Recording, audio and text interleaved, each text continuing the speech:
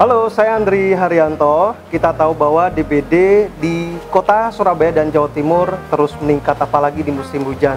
Dan kasus DBD ini perlu diwaspadai kawan.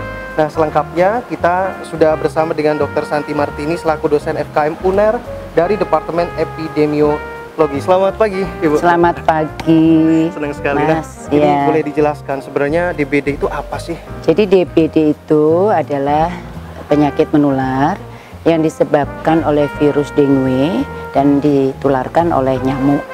Nyamuknya nyamuk tertentu Aedes aegypti.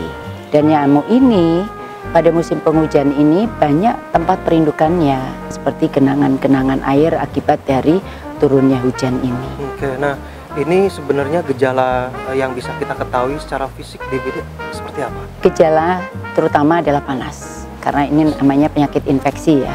Biasanya untuk menentukan apakah ini demam berdarah atau bukan ditambah dengan pemeriksaan darah.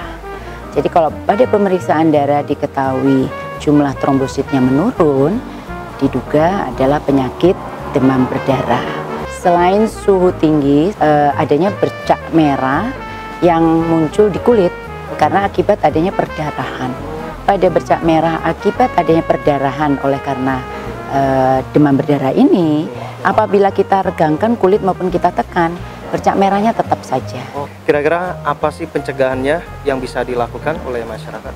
Sebetulnya pencegahannya sangat mudah sekali ya. Ya tentunya memutus berkembang biaknya nyamuk tersebut. Bagaimana caranya? Ya kita lihat breeding placesnya atau tempat perindukannya itulah yang kita hilangkan. Ya. Misalnya kalau ada genangan-genangan ya kita buang airnya. Kemudian kalau ada tempat-tempat untuk penyimpanan air ya kita tutup tempat tersebut agar nyamuk tidak hinggap di situ dan bertelur di situ. Penyimpanan air seperti bak mandi kita bisa kasih abate atau bak mandi itu kita kuras seminggu sekali. Siapa yang nggak bisa melakukan itu? Kita semua bisa. Jangan sampai kena demam berdarah karena kalau sudah kena demam berdarah yaitu tadi bisa mematikan. Terima kasih waktunya atas penjelasannya menarik sekali. Terima kasih Sampai ketemu Mas. lagi. Sampai ketemu lagi. Saya Andri Arento, sampai jumpa.